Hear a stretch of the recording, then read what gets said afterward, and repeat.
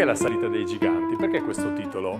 I giganti sostanzialmente sono quelli che il papà di questa bambina, che poi diventerà una ragazza e poi diventerà una donna, la protagonista di questa storia, racconta come le montagne che sono sopra la loro testa, come le montagne ai piedi delle, delle quali sono, sono, cresciuti, sono vissuti, come le montagne che i Menabre hanno attraversato nel corso degli anni per commerciare con la, la Svizzera. Questa è la storia di, di, questa famiglia. E questi giganti sono i 4.000, sostanzialmente le grandi montagne del, del Monte Rosa, che comunque sono diverse. No? Ci sono diverse, diverse montagne, diverse cime che superano i 4.000 e che dal paese di Gressonei, che è una delle location sostanzialmente di questa storia insieme a Biella, eh, dominano l'orizzonte.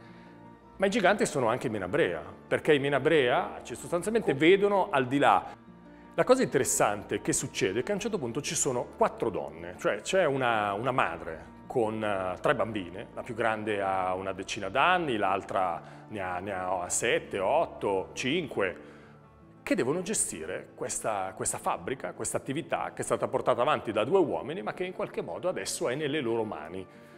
Buon senso, visto che siamo nella seconda metà dell'Ottocento, direbbe che mamma vende tutto, lascia tutto a qualcun altro e si godono sostanzialmente i soldi o si godono il risultato del lavoro del, del marito e di questi, queste due figure di riferimento maschili. E invece no, nonostante potesse mollare tutto, questa madre decide che devono andare avanti loro. Con una determinazione cieca va addirittura a incontrare i vari uh, compratori, i vari clienti, i vari fornitori che quando la vedono dicono ma chi è questa donna? Perché? Perché io devo parlare con una donna? Molti di loro non lo vogliono fare, ma lei decide che invece vuole andare avanti. Io di questa ragazza, che poi diventerà una donna, che diventerà una madre, avevo sostanzialmente i diari di quando era bambina, anni 70-80 dell'Ottocento, poi avevo le lettere che scriveva alla sorella che, in, che stava studiando in collegio, dove lei anche andrà, in Svizzera, perché ovviamente in Minabrea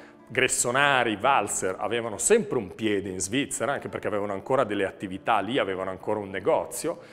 Poi avevo le lettere d'amore, in cui lei scriveva al suo innamorato e raccontando dei luoghi che io vedevo tutte le mattine.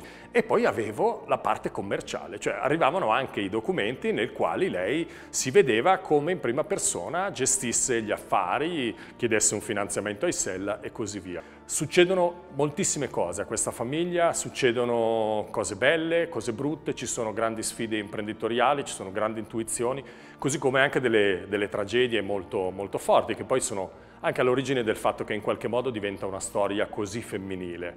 Quindi chi sono i giganti? Sostanzialmente quelli che cercano di vedere oltre quello che le persone normali o le persone con uh, meno intuizione, meno volontà, meno desiderio e ambizione non vedono.